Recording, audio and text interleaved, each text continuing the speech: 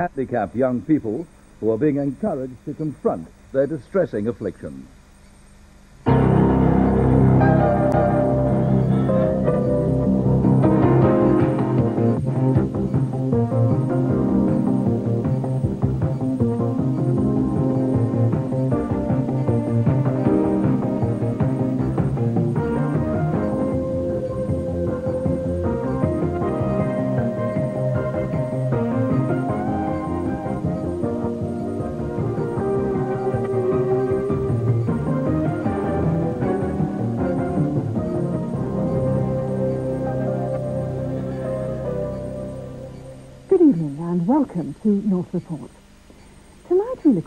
Which makes many of us feel uncomfortable. Mental handicap and illness. Yet one in six of us will need professional help for a mental health problem at some time during our lives. For years, successive governments have been trying to decide how we as a society should deal with mentally ill people. For most patients, there used to be only one answer, the asylum. In the last few years, we've begun to accept we shouldn't just lock the mentally ill away and forget about them, that they too have a right to live as normal a life as possible in the community. Well, the government soon to publish a white paper aimed at streamlining this process. But will enough money be available to help all those who could benefit? Tony Brooker has met a group of parents who, on their own initiative, have pioneered a new type of care for their handicapped children. To any casual observer, a young man walking his dog in a suburb of Newcastle would present nothing other than a perfectly normal sight. But Glyn Leggett is afflicted by autism, one of the most complex forms of mental handicap. Glyn lives at home with his mother and stepfather, with whom, because of his handicap, he can't communicate. The compensation, however, is that Glyn, who is 29, is cared for in a warm family environment. Glyn, therefore, enjoys physical comforts, something which not all autistic young people share. For Glenn Adams, home became an air raid shelter. It's warm and comfortable, especially this just around. The shelter on the edge of a farmer's field on the outskirts of Darlington was the bolt hole for a boy who, at the age of six, was put into care by parents who could no longer cope. They haven't seen him since. His life became one of institutions, children's homes, special schools, units for disturbed teenagers. And when he ran away, as he often did, this is where he ran. All human beings should be afforded dignity, whoever they are and whatever their condition. And Article 26 of the Human Rights Act does say that every human being should be helped to reach his or her full potential. And I also think that the way we treat our handicapped is one degree of the civilization of a community. And I feel too that ours has a very long way to go, a very long way. Now, Glenn Adams lives here. He's been found a place in this new community home for autistic young people in a converted vicarage at Seaham in County Durham. It's the first of its kind in the northeast and actually in the way in which this refuge has been established, unique in Britain. It was set up by a group of parents with autistic young people, including Fiona Leggett, earlier this year. They were all worried that after school years there was nowhere else for their children to go. The bitter irony is that while Glenn Adams has been found a place here, though, Glyn Leggett hasn't. While his parents are still prepared to go on looking after him at home, no money can be found for a place at Seaham. Glyn's mother is left with a wish. Seaham can give him a residential place, it can give him tuition, it can encourage him out of this autistic state, it can realise his potential. Glyn is normally intelligent and his potential is great, but he's never going to realise that potential if he remains at home, because I'm not trained to deal with an autistic person. I'm just a mother.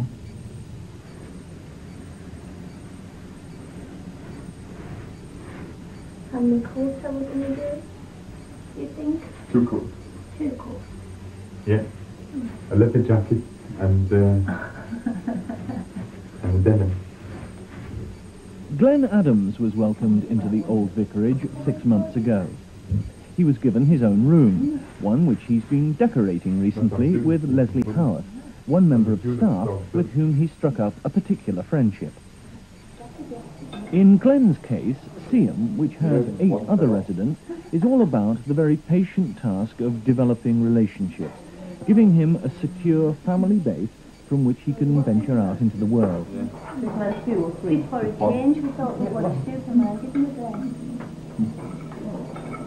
Who watched it? Who watched it? But that is only part of what the old vicarage is achieving, caring for nine very different residents afflicted with a range of disabilities because of their autism. Any outsider, such as me, coming into the old vicarage can't fail to be impressed by what's going on here. I actually started off not being very sure what autism is. There's the film Rain Man, the idea that despite their difficulties, autistic people often display a peculiar kind of genius. But in most cases, that simply isn't true. It affects 80,000 people in Britain. There's no known cause, no cure. Most harrowing of all for the parents is the fact that, unlike other forms of mental handicap, there's not even the consolation of affection. From birth, autists are obsessive, indifferent to others, cold. He's a lovely boy. He's our dearly beloved son. But he, he really crippled us as a family. Caring for him, the stress was enormous on all of us. Um, and this is why a place like this is such a miracle to me. It's, it's the answer to my prayers. And it's my dream come true. And I'd love to think that all autistic people in the world could have this sort of care mm. for their handicapped sons or daughters. How difficult is it that autistic children and autistic adults seem not to respond to other people and to you as parents? That's the worst. It's the worst, absolutely the worst. You don't get the father-son relationship. Parent-child relationship, we don't get the affection. It's, uh, it's terrible, really. It's only now that I can maybe steal a kiss from Mario, kiss him on the cheek and that. And now he'll occasionally come and kiss the top of my head, which is wonderful. But that's only in the last two or three years, and he's 26 years old. It's the most precious thing ever, isn't it? Parent-child. And you don't have that. Because that's part of the problem, you see. Mario will never know me as a father or as any meaningful person. I think as soon as Jamie was diagnosed when he was five, um, we saw the next 70 years of our life, which is 24 hours a day, seven days a week, uh, stretching out forever. There's no, we didn't know what would happen, uncertainties and so on. And now Jamie's here, we can see he's happy, we can hear him being happy, and in a way, a normal person perhaps won't realise what a weight that is off your mind. You have peace of mind that you can uh, get on with life as before. Um, it's, it's a tremendous thing, a tremendous feeling of relief. Uh, we're very, we know that we're very fortunate that Jamie is here, and as the other parents here do, we're very, very privileged and fortunate. And we see that we've got to continue with this work for others. Can you, right up there? The Can centre's touch them? manager is Christine Smith. Good Her philosophy has been to create an informal family atmosphere within which programs can be followed to help the residents with their range of disabilities. Going to come and sit down? I think that's probably the most difficult thing to understand about autism, that it affects um, highly intelligent people as well as it affects severely subnormal. But yes, here we have we have uh, different levels of handicap, and so we have programs designed to cope at each level, and individual programs in social skills, language, um, social training. Now, Jimmy, we're going to have to go to the post office. Find the post box. Where's the post office? Look, which one is the post office? You point. There's the, the, There's the post box. So we're going to post our letter. Let's go and have a look at it. Over here. There's Brenda. Say hello. hello May I have a stamp, please? May I have a stamp? A stamp, please. Good lad. Thank you. Good lad. Right. Put the penny in your pocket and I'll take your stamp. Give your stamp a lick. Put it on the corner there. Good. Press. Good lad. Let's put it in the box outside. Please. And then mum and dad will get that first thing in the morning. Make them very happy. Good lad. Right, Peter. Shall we sing a song?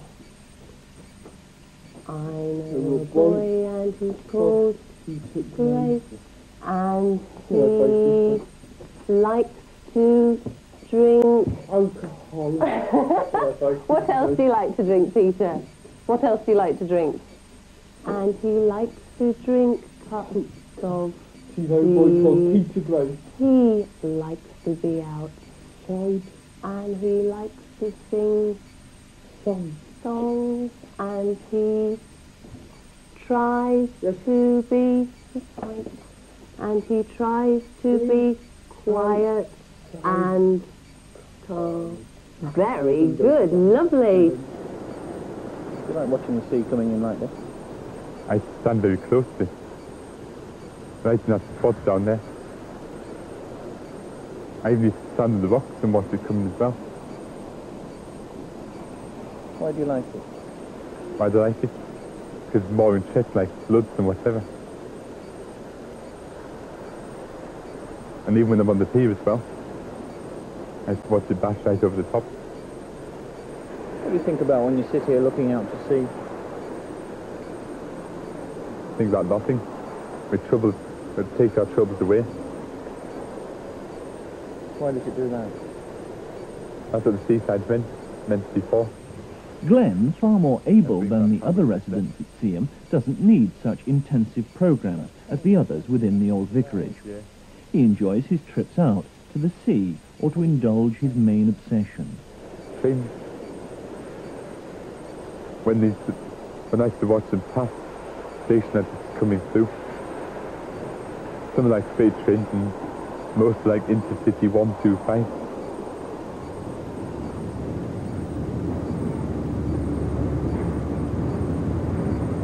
We have to let him go and try for himself. Which support, if he needs it. Which support, we have to guess when he needs it, because sometimes he can't ask for it. So we have to guess that he needs someone with him or needs some. And sometimes when um, you drop him off somewhere and you're driving away and he looks very lonely, just got let him do it, got to let him try himself. But always be there for him when he needs it. He can find his way around the entire country. If the train didn't turn up or was late, he could make detours and go via other stations.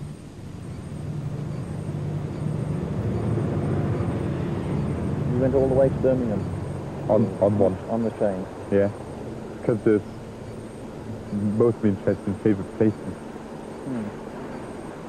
So I can try out some of these places by themselves. Did you like Birmingham? Yeah. What did you do there? Well, I didn't do much this time because it was everywhere was shut and it wasn't too packed. Well, we're watching television, listening to pop records and pop tapes, so and so on. So that's all I do. I just do here. Glyn Leggett's life centres on his room in the family home.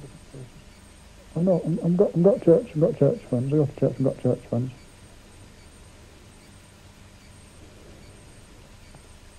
What sort of people do you see when you go there? Friends of the family or?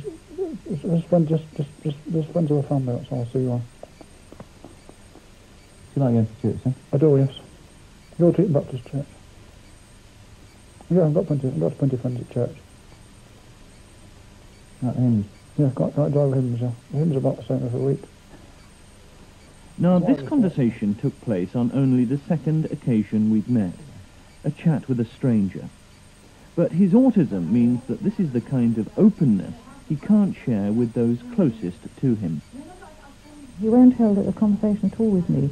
The only time he ever speaks at home is if he wants something and I don't provide it. It's almost like being used as a tool. romantic. I do find it hard. Um, I try to be understanding because I don't really know the reason for this. I just feel intuitively that Glyn does love me. In fact, I could almost say I know that he loves me. Uh, for instance, on Mothering Sunday in church, the minister put a question to the children and he asked them something about their mothers. And Glyn shouted from the gallery, I love my mother, which was an astonishing thing to happen. I cried. I just broke down and cried. I love my mother. Uh, and yet, sometimes he appears so cold and indifferent that it's hard for me to accept that he does, that he is fond of me. I just have to know inside that he is and accept uh, the mute condition. It's the absolute dedication of loving parents which has made Seaham possible. An example which other groups of parents throughout the country are hoping to follow. Two fathers have travelled from Leicestershire to listen and learn from Seaham's experience. I Suppose we were a, This is the best a one group of parents who uh, uh, realised that we needed something, perhaps selfishly, that we needed something for our offspring, Mm. and we knew there were many others round about who needed the same sort of facilities as we did. So we got together, decided, had a look around, as you're doing, at different sort of facilities that existed, um, and then decided what we wanted. Our uh, requirements are so diverse that it came down to a whole spectrum of facilities, really. Uh, we need something for the less capable and something for the very capable, and that's what our society aims to set up. And the maximum First, the Seaham parents secured a grant from the National Autistic Society to appoint a project manager for a year. The vicarage was bought through the Durham Miners Housing Association with a private mortgage.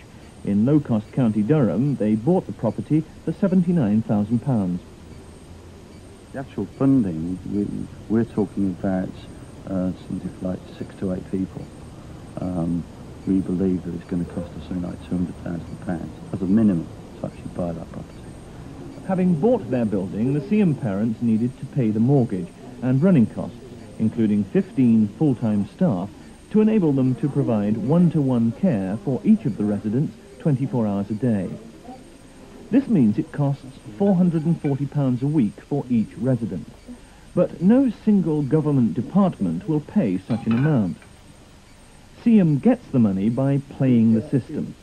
£165 a week from the Department of Social Security for looking after adults, the rest from the Department of Health or from local authorities' social services departments, depending where residents come from. But this is a situation in which only the most persistent, only the most articulate get results. shouldn't be charity and volunteers and people like us. There should be more money put into this by the government to make sure people get the, what suits them individually. The, uh, I think it's the 1986 Disabled Persons Act provided for um, individual assessment for all people, disabled people. So you go through all these processes and at the end of it they've got nothing to offer because they don't make the right provision for people. Um, and if you're not articulate, as you said, pushy, middle class probably, you don't get anywhere. But even for some of those involved in setting up Seaham, personal circumstances haven't eased. Mr and Mrs Leggett have to continue looking after Glyn because Newcastle City Council says it can't afford to give them a grant for a place at Seaham. The council says it has at least 500 other similar deserving cases and the budget simply won't stretch. Now, to give you some idea of how difficult all this is, Fiona Leggett is only one of 50 people with names on a waiting list for Seaham. That is a figure after just six months, and it's bound to grow. Parents want Seaham because of what it can achieve. It helps their children to overcome, gradually, the worst aspects of their handicap. On the wards of large mental institutions, even at home, they could vegetate. Here, they're not allowed to. They're encouraged to confront their handicap, especially the worst part of all, shunning human contact. Sit beside us, Peter. Oh, well done, Peter. Oh, Peter, that's very good. You've come to join us. That's lovely. Can you sit up? Yeah. That's good. And you're looking. That, that definitely deserves a sweet. Have a sweet. Because this is a nice, happy time, isn't it? Claire, you can have a sweet too. Yes, please. Because we're sitting together on the floor, aren't we? Yes, Jamie, you can have a seat. Good boy. Are You looking?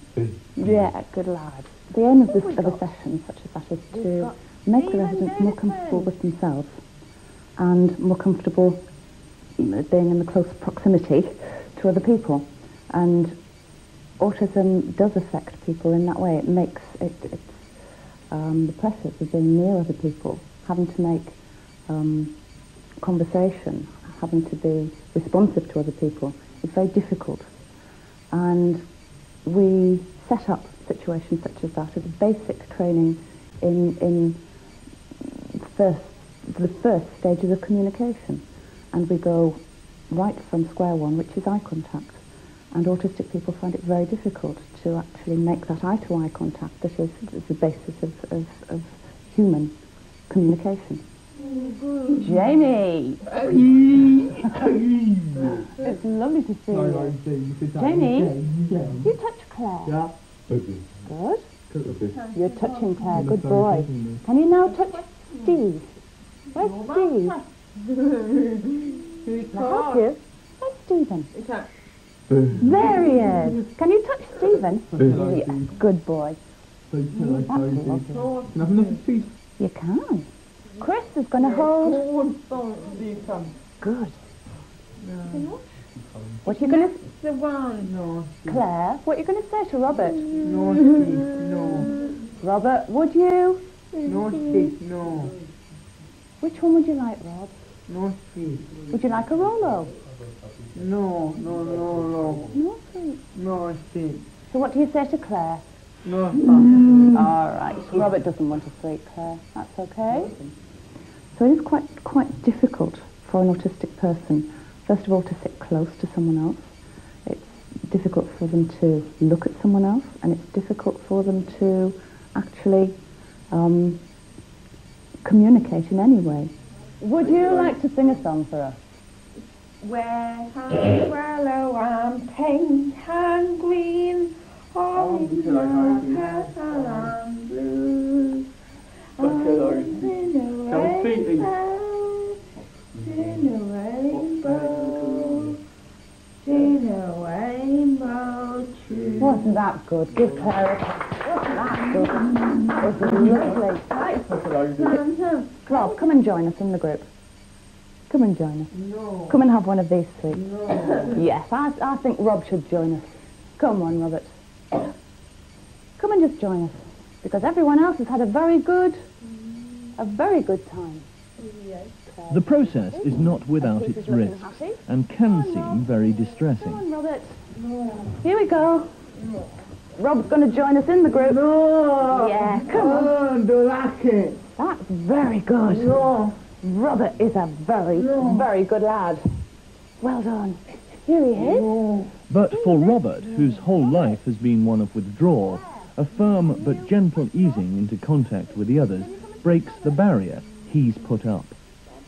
Hello, Rob. Oh, it's nice to have you here. It's really good.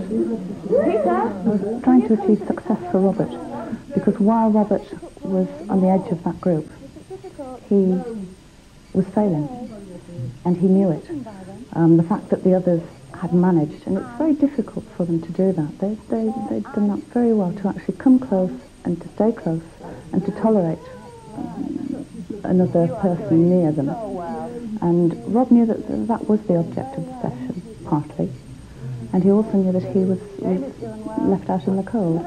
But his problems would not allow Robert to um, comfortably join that group. He was too worried, he was too anxious, he could not allow himself to succeed.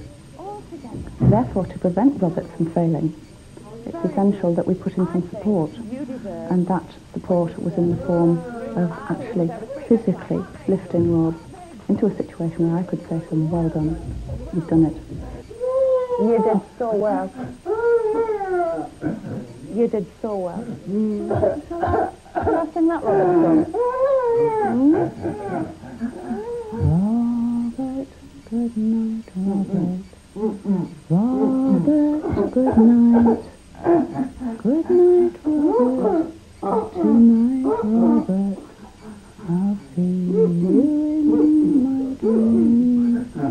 Now, he showed signs of distress at, at being in the group of cooperation, um, but he would have been more distressed and it would have been less of, of um, an achievement for him to have finished that session without actually getting to the point where that, that he knew I was asking of him.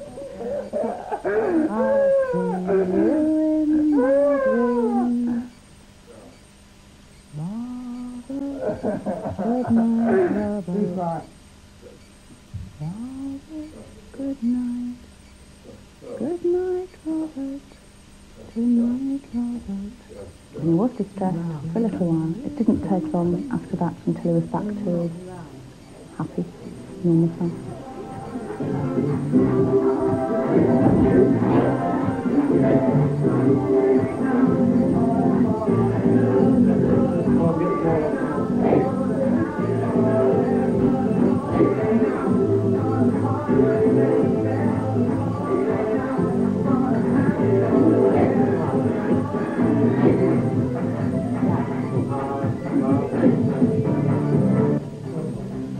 Silly daydreams. Ah, if I win the cruise, I'll do this and that. I'll buy an ocean-going yacht.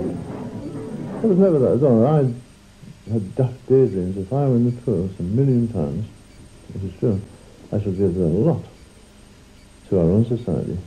As long as they sign a piece of paper saying that look after him or he dies, Yeah. and I'll just go split boom and walk away. That's how important it is. It's now 28 years since Enoch Powell, as health minister in the Macmillan government, first raised the idea of getting more people out of mental hospitals and into communities like this one. And Norman Howe is still saying that he needs to win the pools to achieve all that's required. The latest initiative is the Griffiths report, which suggested targeting resources through local authorities who already face stark choices about matching money to need.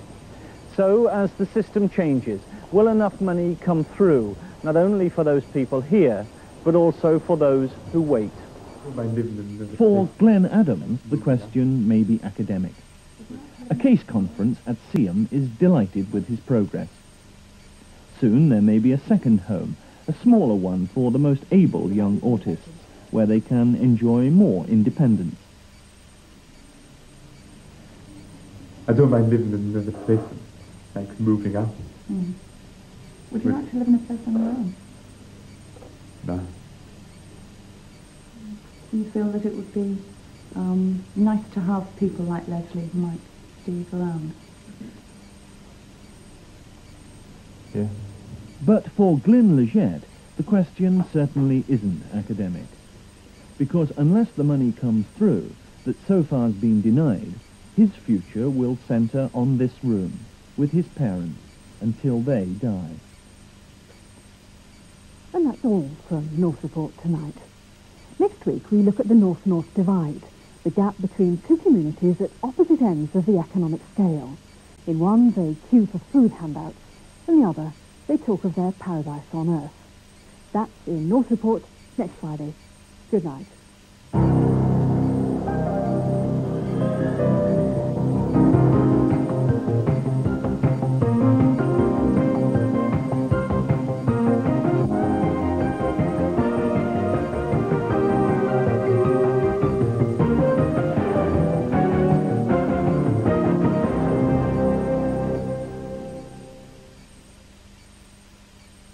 Article based on next week's North Report can be found in the new edition of Radio Times, on sale now. Over on BBC One in a quarter of an hour, Anneka Rice faces another awesome task to be completed within 24 hours. On BBC Two now, Public Eye on the treatment of sex offenders in and out of jail. The programme